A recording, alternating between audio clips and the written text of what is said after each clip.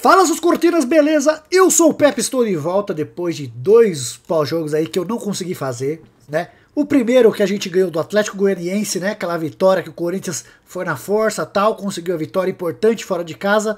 Eu estava no casamento do meu amigo. E no outro, agora na quarta-feira, foi quarta-feira? Foi, né? Foi quarta-feira agora. Quarta não, terça. O Corinthians enfrentou o Cuiabá. Eu estava vendo num bar com meus amigos. Um dia de chuva que eu me arrependi demais de ter saído de casa pra ver aquela merda daquele jogo. Um jogo pra se esquecer que o Corinthians, meu Deus do céu, né? né? Perdeu a liderança num jogo contra um time fraquíssimo, tomando um gol do, do Wendel, mas também que contra o Cuiabá, o Corinthians tomar gol de, da lei do ex era muito fácil, porque o time inteiro do Cuiabá é ex-jogador do Corinthians. E hoje o Corinthians recebeu na Neoquímica Arena, que eu quase perdi esse jogo também, porque na hora que começou o jogo, minha filha foi dançar festa junina na escola. E eu assisti a ela e assisti o Cortinas no celular. E o Corinthians recebeu o pequeno Juventude, né? Um time muito apático aí, né, meu? Muito fraquinho. O Juventude, que é um dos times que vai brigar para não cair aí.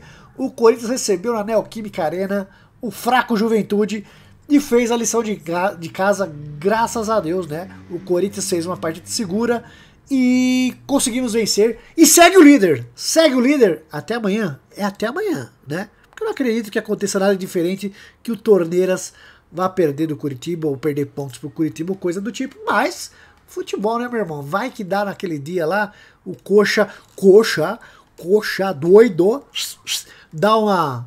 resolve aprontar para cima do Torneiras e aí a gente é líder novamente, mas hoje pelo menos vamos dormir na liderança aí, né? E o Corinthians foi para esse jogo aqui com uma formação que eu gostei. O Vitor Pereira, que foi muito criticado, né? Pelo jogo que ele fez contra o Cuiabá, que o povo já tava pistola da vida, porque inventou demais, é, começa a poupar demais. Ou você poupa, ou você fica mudando esquema toda hora. Fazer os dois, não há time que aguente jogar minimamente bem. E contra o Cuiabá foi um show de horrores. Né? O Corinthians jogou muito mal, teve só aquela cabeçada do Mosquito lá no primeiro tempo contra o Cuiabá e só. O Corinthians não machucou, não fez nada. O Cuiabá também um dos times que vai brigar para não cair. O Corinthians era para se manter na liderança facilmente aí, né? Que é obrigação de que quem quer ganhar, quem quer ganhar o campeonato, tem que ir até o Cuiabá e passar a sacola na cara do Cuiabá. E o Corinthians conseguiu perder três pontos lá, pelo menos, podia ter pelo menos um empatezinho, né? Mas não, o Corinthians foi muito horroroso naquele jogo contra o Cuiabá, né? Foi muito criticado o Vitor Pereira, os jogadores também fizeram uma partida horrorosa. E aí, nesse jogo, o Vitor Pereira resolveu, acho que, não inventar muito, né? E aí também, durante a semana, tivemos o episódio do Jô, que durante o jogo contra o Cuiabá tava lá no Batuque e tal.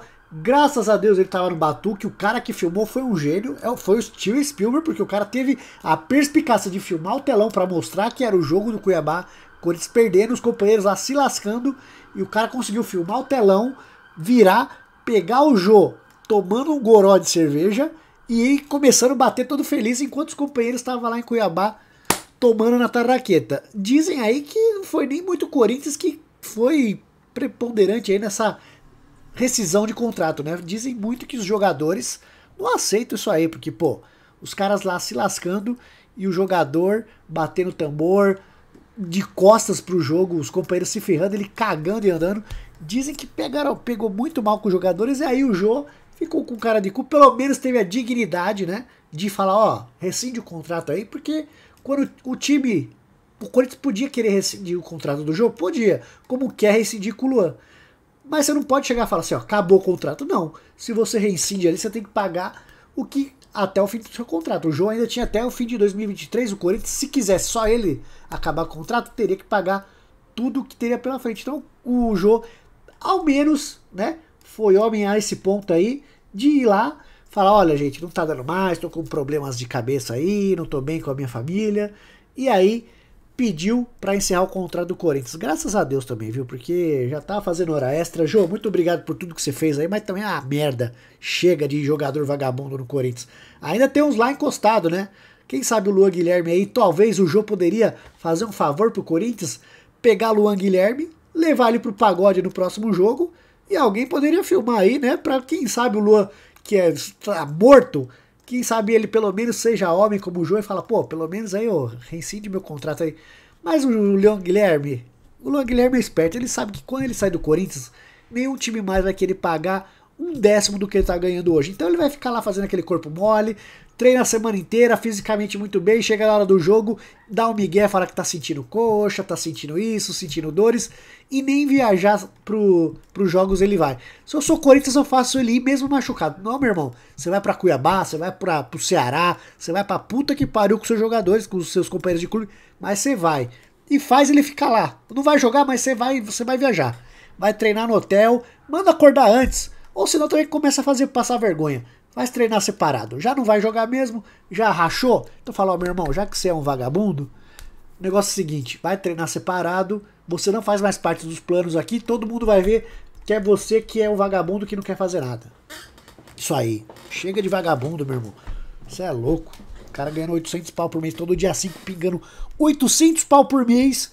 E o cara dando migué aqui tá. Ai, tá com dores, né? Tá bom. Mas voltando ao jogo de hoje, o Vitor Pereira é, fez o básico, né? Foi com uma escalação que eu considerei, para mim, hoje, eu acho que é ideal, né? Porque ainda mais jogando em casa contra times fracos como é o, Juven, o Juventude, o Corinthians foi de Cássio, Rafael Ramos, que o Fagner dizem que tá para voltar, né?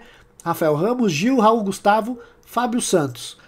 No meio, eu gostei desse meio campo aqui com Duque Heróis, Renato Augusto e Juliano, que o Juliano para mim tem que jogar. Do, dos que tem à disposição hoje, não tem como o Juliano ficar de fora, eu já venho falando. Eu gosto muito do, do Juliano, tem gente que não gosta. Hoje ele deu uns chutes no gol, né? Tá show de bola. E na frente jogou o Watson, o William, voltando também de contusão, e Roger Guedes ainda não se adaptando ao ataque.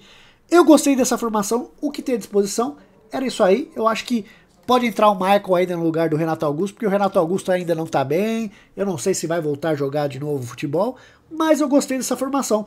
E o Corinthians fez um jogo seguro, né? No primeiro tempo, o Corinthians foi muito superior à Juventude, o fraco Juventude. Já começando logo aos dois minutos de jogo, uma jogada entre Adson, Juliano, Rafael Ramos, dando a assistência pro Adson. O Adson, que é aquele jogador que vira e mexe, aparece lá na frente e tá metendo os gols deles, né? Então, o Adson tá sendo um jogador útil para o Corinthians. Ele que tinha começado na temporada passada aí se destacando bem pelo Corinthians, mas daí teve aquela contusão contra o Atlético Paranaense lá em Curitiba. Acho que foi o Thiago Heleno que rasgou o Adson no meio e demorou pro Adson voltar e parece que agora ele tá voltando à boa forma. É um garoto que eu acho que vai dar alguma coisa no Corinthians. Não vai ser um super craque nem nada, mas é um jogador muito bom que pode dar muito retorno pro Corinthians. E aí, o Corinthians foi muito superior, não sofreu nada no primeiro tempo, Juventude pouco fez, deu um chutinho de merda lá, muito fraquinho que o Cássio podia ter pegado de costas, né? E no segundo tempo também o Corinthians também foi, foi superior, mas o Juventude deu uma equilibrada tal, mas também não assustou o Cássio em nenhum momento. O, o Vitor Pereira fez algumas alterações, né? Saiu ali, vamos ver aqui, saiu o nosso querido Renato Augusto, entrou o Cantilho, né?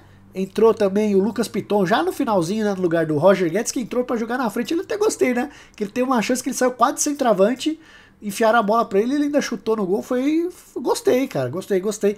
Entrou também o Mantuan no lugar do Adson aos meio do, do, do segundo tempo e também no finalzinho, acabando o jogo, logo quase aos 45 do segundo tempo, entrou o Felipe no lugar do William. E aí o Corinthians ainda numa arrancada do Duqueiroz, que fez uma jogada de meia, conseguiu achar o Mantuan ali e sentou o pé no cantinho do goleiro César, que não pôde fazer nada. E aí fechou o caixão 2 a 0 um jogo muito seguro do Corinthians, né? Mas, lembrando que o adversário era fraco. Mas é o que a gente tem que fazer. Quando pega adversário fraco, você tem que fazer o trivial, que é conquistar os três pontos, que era o que a gente achou que devia ter feito contra o Cuiabá, que era outro time muito fraco, gente. O Cuiabá dificilmente vai tirar pontos de time que tá lá em cima. E o Corinthians perdeu três pontos pro Cuiabá, que não poderia ter perdido, na minha opinião, né? E foi o que a gente ficou puto no meio de semana. Mas hoje o Corinthians Fez o feijão com arroz, né? Seguro ali, não foi uma partida brilhante, nossa, nada disso. Gostei muito, ó, o retorno do William.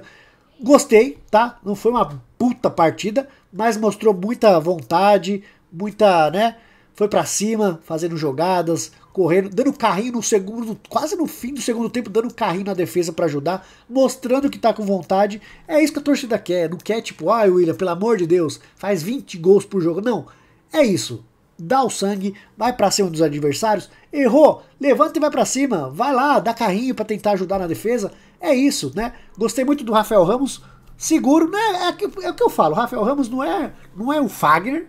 Ele defende 6,5, ataca 6,5. É seguro. Hoje foi muito bem, né? No Sofá Score, por exemplo, o Rafael Ramos foi o cara que tinha mais nota aí, 8.3. Maravilhoso, gostei muito, né? Gostei do Adson, do, do Queiroz, gostei também do. Ó, não, o Roger Guedes fez uma partida de merda, tá? Mas eu gostei do comportamento. Porque teve algumas vezes que teve o William lançava a bola, antigamente ele reclamava tal. Hoje ele, pô, não, fazia assim, agradecia, mostrando que tá com vontade de não criar caso, né? Pelo menos isso, para mim, já é um, uma evolução, porque o Roger Guedes é mimado mesmo. Quando o Corinthians fazia os gols, ele ia lá junto comemorar, porque ele foi criticado, porque quando o gol não era dele, ele não comemorava. Eu gostei dessa pequena atitude, já é alguma coisa mostrando que quer ajudar. Dentro de campo não fez nada, mas essas atitudes para mim já valeu alguma coisa, parece que o ambiente vai começando a dar uma melhorada. E a gente sabe que é importante que vai começar a vir os mata-matas agora, vai vir Boca, vai vir Santos pela Copa do Brasil. E o ambiente tá bem, já é meio caminho andado. Voltando o Michael aí, já ajuda bastante. E aí, passando o mata-mata, o Corinthians tem que ir atrás do centroavante, porque a janela só vai abrir depois que acabar o mata-mata contra o Santos e contra o Boca. Então, antes disso, não dá pra ir atrás de outro centroavante. Então, vamos tentar fazer o feijão com arroz ali. Hoje eu gostei da formação do Corinthians. Eu acho que faltando só o Michael é a ideal. Eu gostei, tá tudo bem. Ah, faltando o Michael e o, o Fagner que faz uma puta falta. O Corinthians vai melhorar demais quando o Fagner voltar. E aí dá algumas esperanças pra gente aí de, de um futuro um pouquinho melhor, né? O Corinthians, se cair no colo brasileirão, aí quem sabe? O Palmeiras deixa mais pra frente aí, disputando Libertadores tal. Quem sabe o Palmeiras dá uma relaxada. E a gente tem que estar tá ali na zona do, da confusão, meu irmão. Tem que estar tá entre ali, ganhando pontos e tá entre os primeiros. Estando ali, uma hora ou outra vai variar. Quem sabe o Palmeiras perde ponto, a gente vai, passa. É isso aí. Eu espero isso do Corinthians, gostei da formação de hoje. Vitor Pereira não inventou, só espero isso dele e nada mais. Eu queria saber de você o que, que você achou desse jogo, se você deu uma melhorada no ânimo que o jogo com o Cuiabá tinha deixado a gente lá embaixo, meu irmão. Deixou o ânimo cagado. Hoje gostei, Corinthians foi seguro, nada de mais, nada de menos, e é isso. Deixa nos comentários o que você achou, desse jogo. Faça o cocô, curta, comente e compartilhe esse vídeo. Até o próximo jogo do Cortinas contra o Atlético Paranense. É nóis. Vai Cortinas. Fui.